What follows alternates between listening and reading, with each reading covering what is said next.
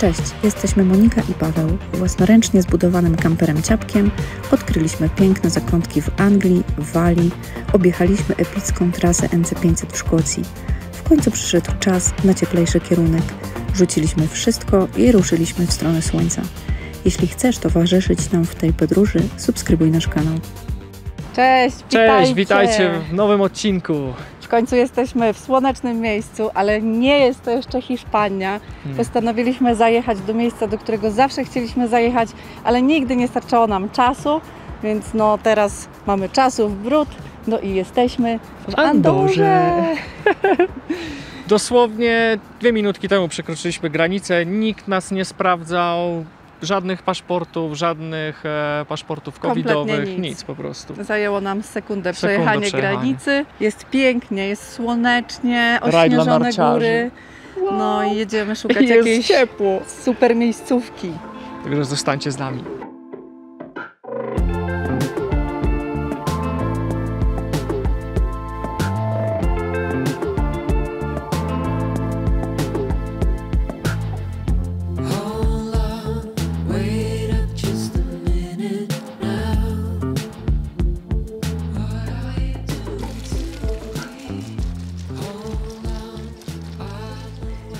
Odlewamy w plenerze, bo podobno się zbiornik zakleja od odlewania makaronu. No i też plener jest zachwycający, No, plener tak. można, Tu można śnieg, odlewać. tu słońce. Jest po prostu czad. Jest czad, no. my sobie gotujemy obiadek. A co? A co dzisiaj na obiadek? Serwujesz? Dzisiaj taki na szybko makaron z pesto. No mamy wymówkę, że nie mamy na razie jeszcze tak czasu porządnie gotować. Dlatego mamy obiady na szybko, aczkolwiek ja bardzo lubię makaron z pesto. Ja też. Szybko robimy pesto. Bazylia, czosnek, sycylijskie. No, takie tam różne przyprawy. No dobry pomysł, żeby ten sam garnek użyć. No, tak, miałam wziąć patelnię, ale?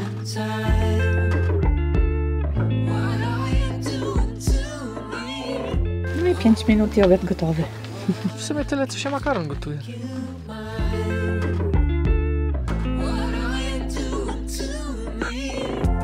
No i chcieliśmy kilka słów Wam powiedzieć na temat miejscówki. Zjedliśmy tu pyszny obiad, jak już widzieliście. Tak, droga była kręta i bardzo ciężka, bo niby było tak mały kawałeczek od tej głównej trasy, bo przez Andorę przechodzi tylko jedna taka główna droga. No i wydawało nam się, że nie jest daleko od stolicy, no ale jak skręciliśmy w bok, to ta wspinaczka jednak Tak. dała nam się Ja trochę we myślałam- znaki. Ja myślałam, że się przejdziemy na, tam, na zakupy do stolicy, ale jednak no, może zejść albo zjechać rowerem nie byłoby trudno, ale chyba wjeżdżać byśmy tu wjeżdżali ze trzy dni, także jeszcze z naszą kondycją obecną. No. Byłoby No. słabo, ale słuchajcie, tak. E, możemy rozpalić tu ognisko, możemy sobie zrobić grilla, są fajne miejsca, takie stanowiska do robienia grilla, normalnie drze- na, na napalonym drzewie, że tak powiem. Możemy sobie tutaj nazbierać drzewa, napalić, zrobić super grilla. Jest toaleta. Jest toaleta. Ogólnie jest bardzo wiejska atmosfera, e, bo niedaleko, znaczy niedaleko, w sumie tu tutaj, jak tam widzicie, z tyłu jest taka komórka za naszym vanem i są tam kury. Przyjechał tutaj bliskie. pan, nakarmił je, jakieś liście im tam dał. Kurki nam tu sobie wydają różne odgłosy i czujemy się jak u babci na wsi. Tak, jest las, są góry dookoła, ćwierkają ptaszki, po prostu mamy słońce, jest Mm. cudownie.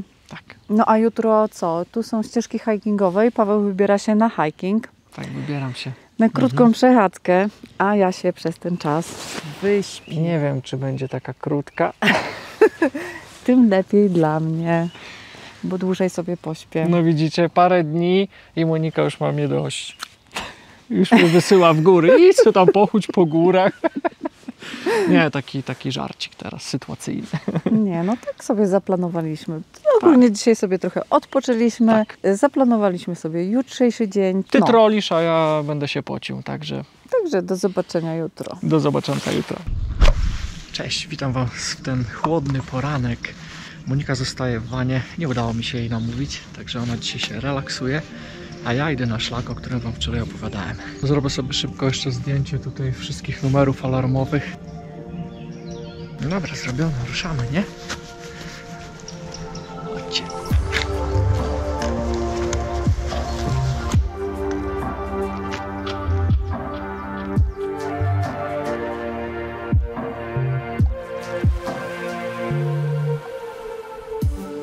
Naszą wędrówkę zaczynamy z wysokości 1560 metrów, bo na takiej wysokości jest ten parking, na którym stanęliśmy. A chyba wejdziemy na jakieś 1800 może, także nie jest wysoko.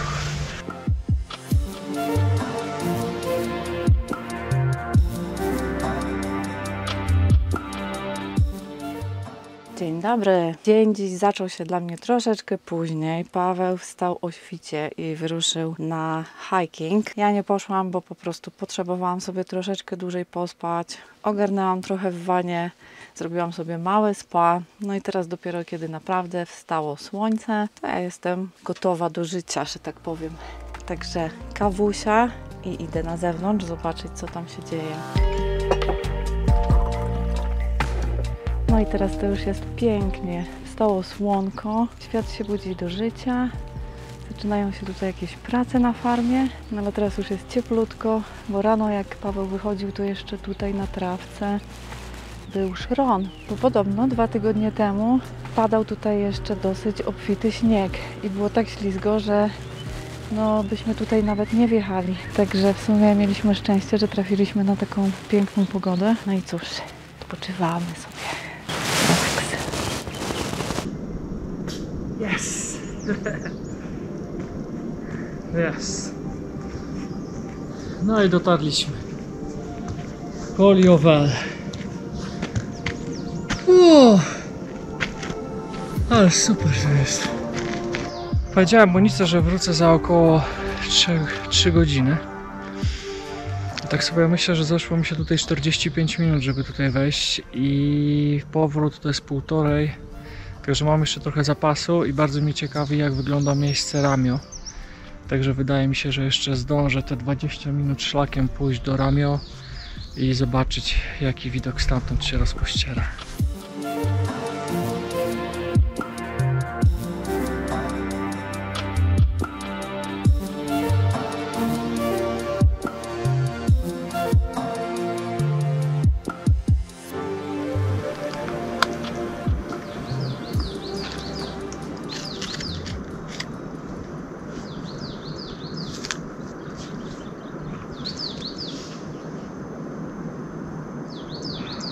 Przyszedłem teraz trochę z drugiej strony tego zbocza, pod które się wspinałem. Kompletnie zamarły tutaj dźwięki dobiegające ze stolicy. W końcu czuję tutaj klimat gór, szum tych sosen. E, Na dole chyba jest jakiś wodospad albo strumień, bo słychać wodę. Jest po prostu cudownie.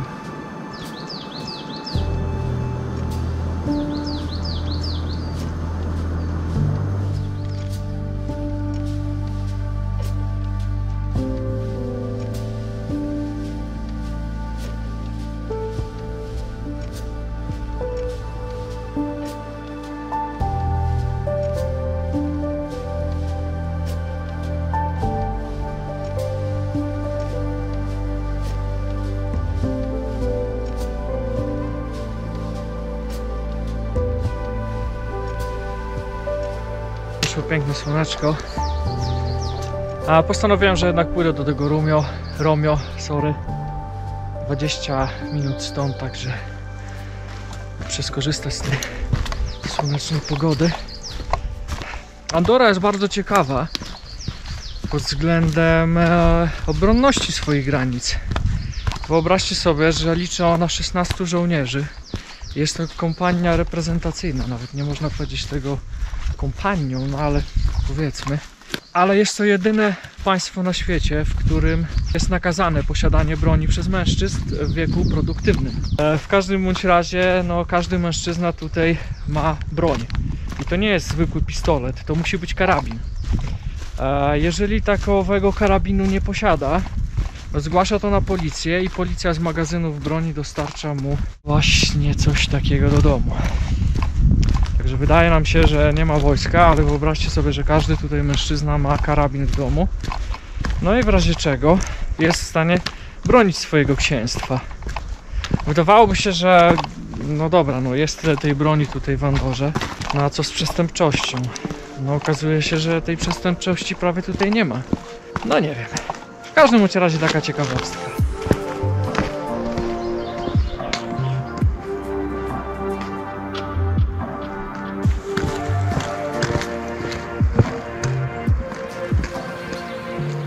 No okazało się, że to Romeo to jest tam chyba taka osada na dole. Znaczy widzę tam jeden dom czy dwa. I nie będę tam schodził na dół. Bo powiem wam szczerze, że moja kondycja trochę leży. Jak kiedyś śmigałem, tak teraz muszę trochę się wzmocnić. Także wydaje mi się, że te dwie godzinki spacerku będzie ok dzisiaj na sam początek. Idę powoli do Moniki. Już trochę jej zgłodniałem. Ciężko się oddycha. Pawłowi. A, dobra, gdzie to tutaj jest? Może ja sobie Paweł okulary zdaje mi, żebyś widział gdzie idziesz. O, tak lepiej. A, tam nie, tam też nie. A, tu jest Fond de la Closa. 30 minut, także tam idziemy. Na szlaku tym trzeba uważać na dzikie zwierzęta. Bursuki są niebezpieczne, nie można się do nich zbliżać. Niebezpieczeństwo czyha na nas wszędzie. Nawet niedźwiedzie polarne tu są. Lepiej stąd idziemy, żeby nas nie pogoni. Wraca Paweł utrudzony ze szlaku. Hej! Jesteśmy w Andorze, ale śniadanko mamy jeszcze francuskie, bo mamy serek Rocamadour, czyli ten miejscowy, który tam wyrabiają. Przywieźliśmy sobie ze sobą. No i teraz zrobimy tak, jak to jedliśmy we Francji. Serek. Do tego będzie miód. Mhm. Po tej wędrówce Miślinka ciekła. i pokruszone orzechy włoskie, chrupkie pieczywo, kawusia. Kawusia. I voilà, Niam, niam. bon appetit.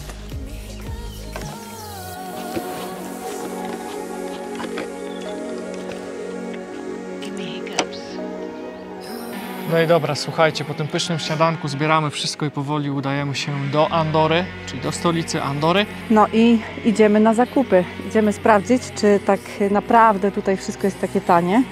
Także zostańcie z nami, Tak, i lecimy. lecimy. No i dojechaliśmy do stolicy.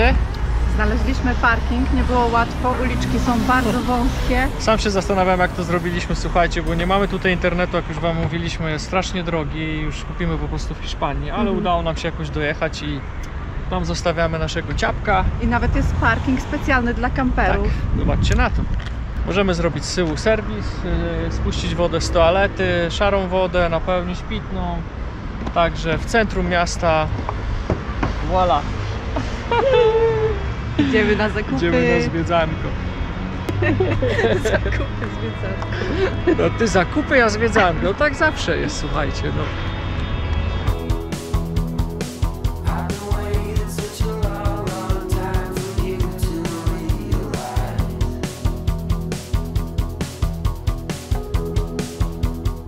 Kapelusz na plażę? Idziemy teraz do perfumerii. To co, to pierwszy shopping? Podobno van life śmierdzi. Musimy łamać stereotypy, idziemy po jakieś perfumy.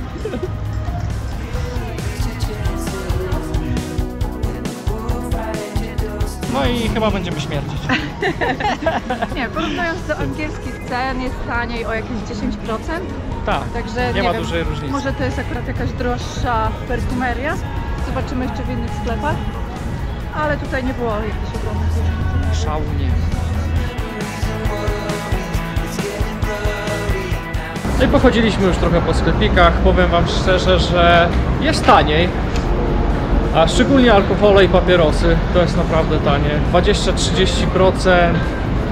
Niektóre rzeczy jak są w promocji to nawet 50% tak na pierwszy rzut oka widać, że jest taniej. Tak, ale no, po spożywcze rzeczy pojedziemy w inne miejsce, bo mamy taką miejscówkę, gdzie możemy zapar- zaparkować bezpośrednio pod, y, pod Pod sklepem. sklepem, tak. Już nie będziemy no, stąd jakichś spożywczych sobie zakupów. dźwigać. A głównie to chcieliśmy sobie zrobić, właśnie zakupy takie spożywcze. Tak, No a zielone tutaj co? światło. No, sklepy są ekskluzywne, markowe, więc... E, tak, no trzeba mieć wór pieniędzy. Jest, może jest taniej, ale to nie są... Nie są sklepy, które zakupy tak naprawdę.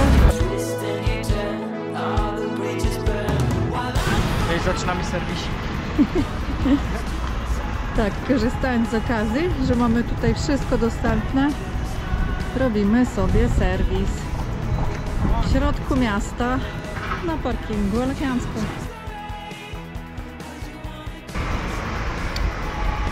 Dziwnie mi się robi serwis w środku miasta, wiecie? Szczególnie jak się... jak się Opróżnia toaletę.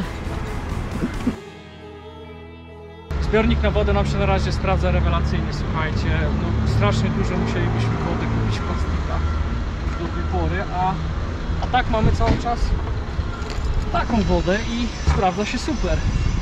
Bardzo ważna rzecz, przejściówka, cały czas jej używamy do kranów. Serwis zrobiony, jedziemy dalej. Waliste uczucie, jak już człowiek jest wykąpusiany, ogolony. Widzicie, ja jeszcze przed serwisem skoczyłem szybko pod prysznic. Monika bryknęła na zakupy, kupiła sobie piękny kapelusik. No, także wszyscy są zadowoleni. Wyjeżdżamy już z Andory. Serwis zrobiony. Parking słono nas kosztował 12 euro. No kurczę, ale nie mogliśmy znaleźć ceny. Tak, nie było nigdzie ceny. Zapytaliśmy się jednego pana, powiedział, że euro 80 za godzinę. No my byliśmy prawie 4 godziny. No ale Jakoś tak naleciało. zakładając, że zrobiliśmy przy okazji serwis, no to myślę, że jest spoko. Ktoś tu ma stronę. Strasznie ciężko się tu jeździ. Ja podziwiam Pawła po prostu, bo to jest po prostu ogromne wyzwanie jeździć po Andorze. Okej? Wszystko zamknięte? No się przestraszyłem, że może, może jednak nie. Może za wolno jechałeś, bo tutaj Hiszpanie szaleją po prostu. Ciężarówkami tak doginają na tych zakrętach, że no my jesteśmy w szoku. Paweł wszystkich przepuszcza, no bo nasz Może ja ciapek, tak wolno jadę. no, nasz ciapek obładowany ledwo daje radę. Jechaliśmy na shopping. O, tutaj tam jest z tyłu. No i muszę wam powiedzieć, że Monika rozmawiała po hiszpańsku, bo nie mogliśmy znaleźć tego miejsca, bo jest trochę ukryte z tej głównej ulicy. Internet nam nie działa. No i na stacji benzynowej Monika poszła do młodego hi Hiszpana, nie no, Andorczyka, tak? Na szczęście w Andorze mówią po hiszpańsku, nie po francusku, bo I wszystko nam wytłumaczył, także chodźcie, idziemy. mam moje ulubione pomidorki Kumato. 4,60 za kilogram. 4,45, 3,75, takie jakieś zdechlaczki. Ej, ogólnie... To jakie No. drogie? 7,95. Tak. Koktajlowe. Są i tańsze po 2,50, po 2,90, ale ja muszę mieć czarne. No i słodka cebulka, to co najbardziej lubię, do pomidorku. 2,75 za kilogram. I mamy awokado, 4,99 za kilogram. Mmm. Taką mam za euro 50. Teraz chyba będziemy mieli problem z wybraniem sera, bo jest ich tutaj całe mnóstwo. No i wybór padł na Hueso de Cabra. Kozi ser Chodzi ser. za No dobra. 6,95. 6,95. Nieźle.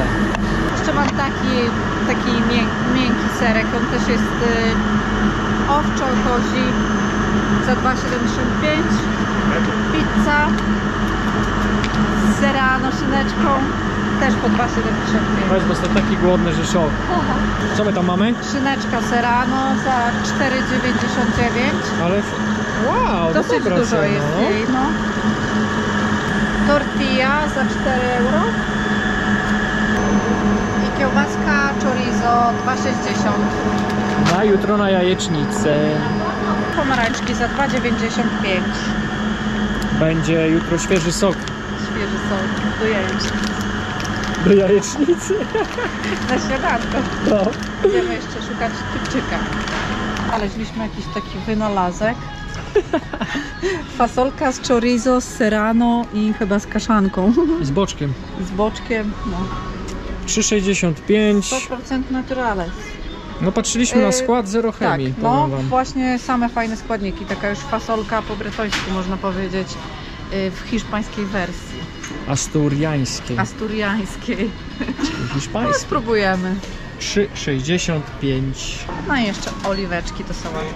Za 1 euro. Patrzcie na to. To kosztuje tylko 56 euro. Ile to jest litrów? 4,5 litra. 4,5 litra. Kurde, w ogóle jakie tu butle są wielkie, nie? 45 euro. Tyle to nawet nie wiem, czy można przewieźć, bo tutaj są też limity, więc nie można za dużo brać alkoholu. Ty jak, zadowolona z zakupów? Tak, jeszcze teraz trzeba to wszystko zmieścić. Zapłaciliśmy, jeszcze kupiliśmy takie fajne pieczywko i słodkie bułeczki w piekarni, yy, bo nie braliśmy tej z supermarketu, tego supermarketu. Yy, Więc tak za wszystko zapłaciliśmy jakieś 90 euro. No ale to jest tak, yy, na pewno nam starczy to na ponad tydzień, więc yy, wydaje mi się, że jest spoko. Nie wiem, czy jest tutaj tak bardzo tanio, ale ponoć w Hiszpanii teraz ceny bardzo poszły do góry a wydaje nam się, że te ceny są trochę niższe niż jak ostatnio byliśmy w Hiszpanii jakieś dwa lata temu, więc przypuszczam, że jest tu trochę taniej. No, teraz musimy to wszystko zmieścić i lecimy do Hiszpanii.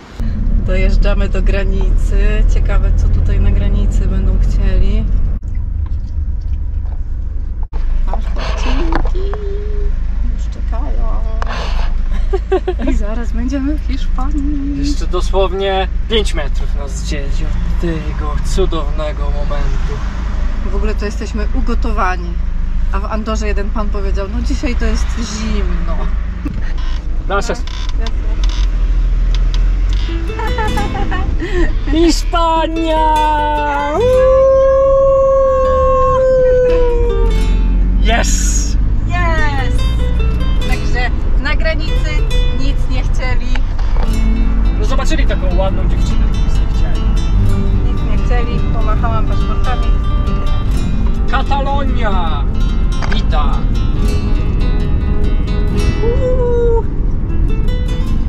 Dojechaliśmy w końcu na naszą miejscówkę w naszej kochanej Hiszpanii. W końcu udało nam się. Tak, jest pięknie, góry naokoło, owce się tutaj za nami pasą. No i cóż, tym pozytywnym akcentem będziemy już kończyć dzisiejszy odcinek. Wy będziecie oglądać go w święta, także chcielibyśmy Wam złożyć najserdeczniejsze życzenia, dużo szczęścia, zdrowia, Miłości, spokoju, no, i mokrego, dyngusa. A za tydzień pokażemy Wam, jak wyglądają święta w Hiszpanii. Tak, jeżeli oglądacie nas pierwszy raz, zapraszamy do subskrybowania naszego kanału.